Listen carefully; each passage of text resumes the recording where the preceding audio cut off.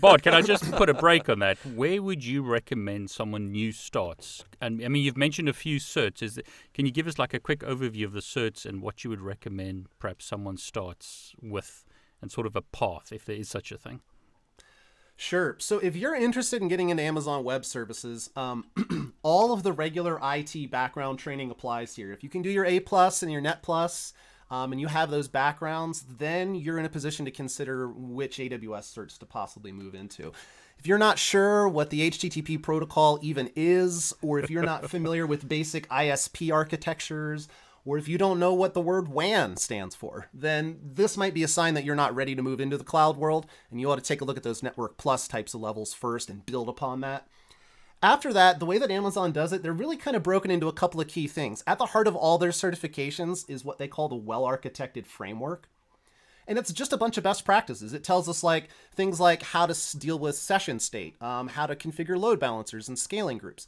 All good things that get this apply to Azure. They apply to Google. That works in AWS. It works with OpenStack. So any of those vendors, you can use those same types of skills. It's not going to be EC2, but you're still going to have those principles there. So, well, it's crazy because you're saying that, and like you said those terms, and I can visualize exactly what the Azure yeah. service is because it sounds like it's like they're copying each other. It's, it's so true, and there is a lot of keeping up with the Joneses that other vendors are doing, and I think that that's fine. Amazon did that with all the hypervisors originally too. VMware had all these features, and AWS didn't have them, so they added a bunch of stuff to get up to speed with it. Dynamic modeling, um, the ability to move servers back and forth, all of this live migration stuff that they support. So they went and they added all of that. Now, back to David's question. Um, architecting is meant as your essentials one. Um, the associate would be the one to first start with, but there are actually some beginner certs. You've got the um, cloud practitioner is the first one.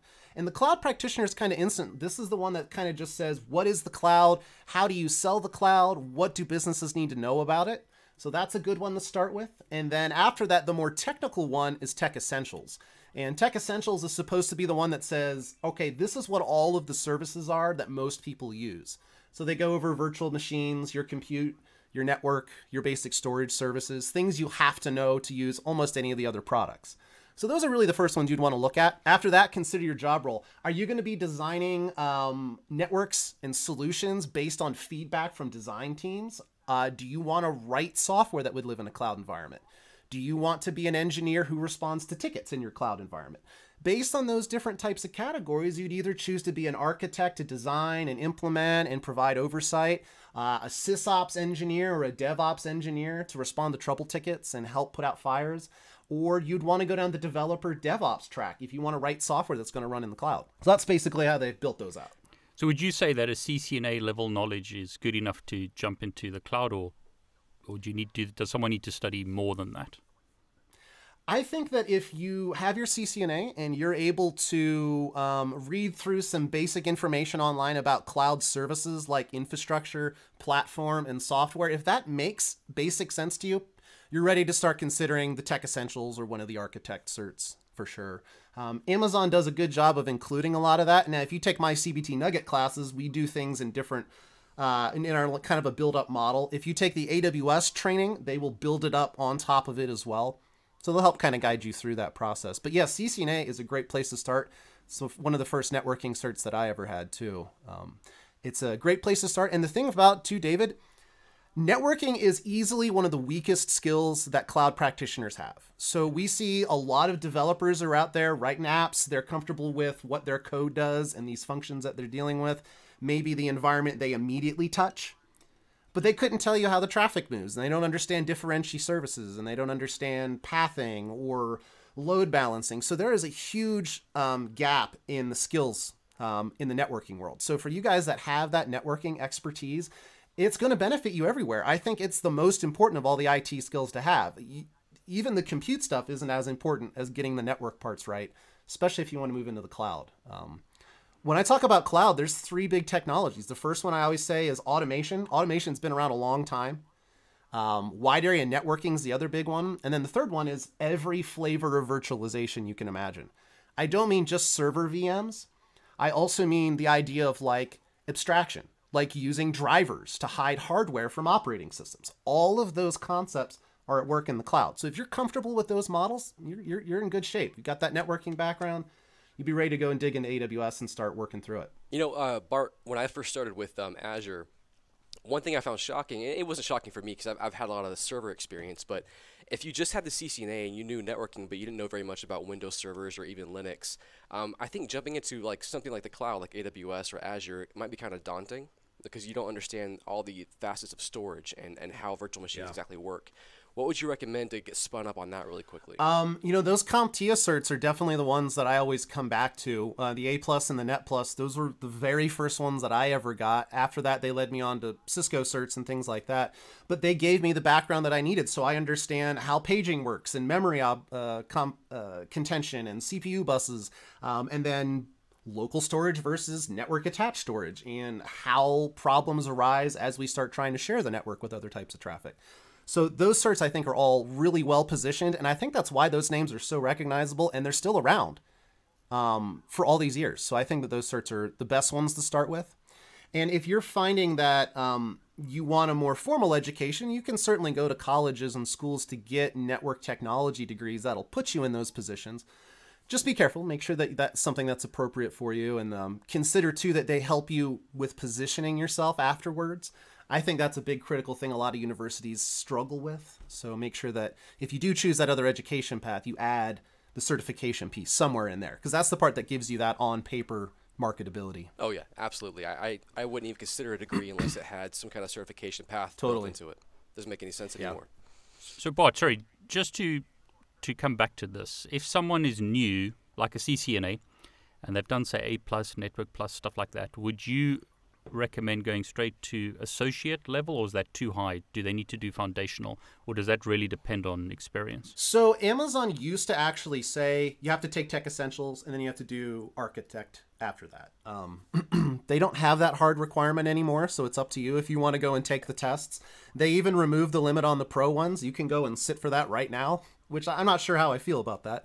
Um, yeah. I, I, don't know. I mean, if you're ready for it, fine, go ahead. That was the whole idea was, you know, buy the ticket, take the ride. Um, but I think that, yeah, those are going to be a good starting point. The associate really has um, a lot of review in it. So I think if I were me, David, I would go and take a look at things like the AWS um, white paper, or I would take a look at the um, the the test exam, the little mock exams that they have those questions will get you a real quick feel for how far off target you are.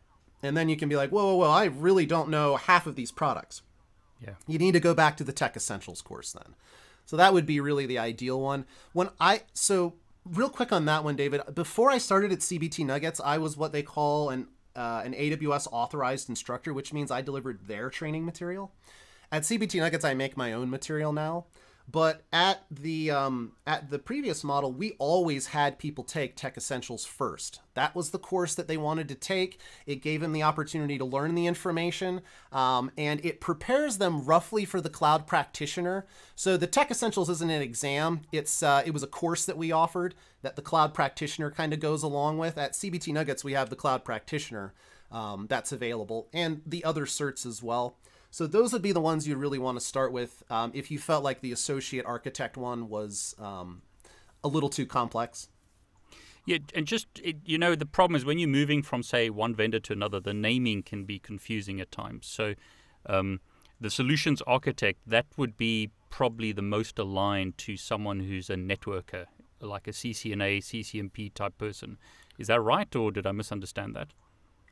You know, the the networking piece is present in almost every class. There's really only like a couple of things that we teach that we used to teach in every class. We always taught basic access management. So every course always included like user identities and permission schemes and security policy stuff because it touches every course line.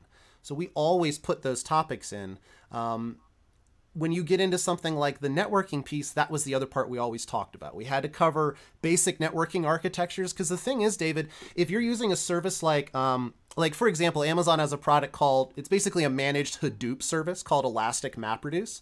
Yeah. It runs on EC2 instances. In order to understand how EMR does its job, you have to know about the virtual private cloud, the networks that they run in, the EC2 instances. So you can't do the big data class and talk about Hadoop on that unless you understand some of the networking pieces. So the associate and that Cloud Practitioner and the Tech Essentials material, they put a real big heavy focus on networking architectures.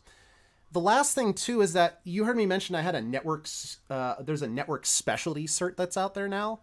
Um, this one specifically is geared towards wide area connectivity. So most of that exam is about really complex border gateway protocol um, administration, um, dynamic VPN tunnels. So it's this one right yeah, here. Yeah, it's over there on the far left, advanced networking. Yep, or far right. I'm sorry, Mm, my screen's backwards there.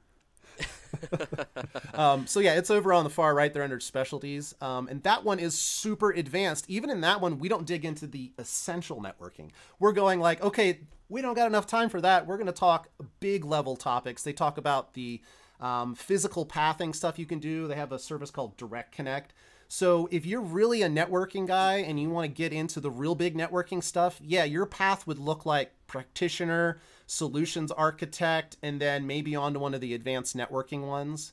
Um, in the end, though, networking, like I said, it's in all of it. So you've really got to know the networking stuff enough to be able to have these um, other conversations about the AWS products. Um, they all run in those same networks. So, So you're saying that we could.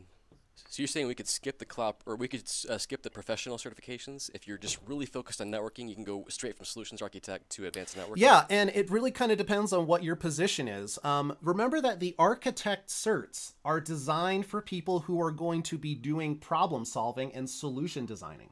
So they're not necessarily people who are going to be sitting there sniffing packets, modeling traffic, or creating um, throughput models. None of that stuff. You're talking about architects who are going to Chuck and David and saying, What do you want to accomplish? What are the main requirements of your problem and your service? How can I help align my products to fix those issues? So that's the thing to remember there, Chuck, is those those even the pro one, it's all about um, being able to help solve problems and doing that solutions architecting piece.